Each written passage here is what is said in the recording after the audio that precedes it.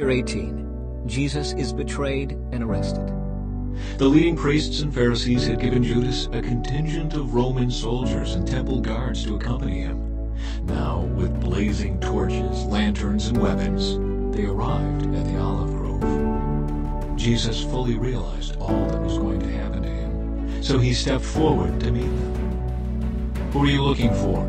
he asked. Jesus the Nazarene, they replied. I am standing with them. As Jesus said, I am he, they all drew back and fell to the ground. Once more he asked them, Who are you looking for? And again they replied, Jesus the Nazarene. I told you that I am he, Jesus said. And since I am the one you want, let these others go.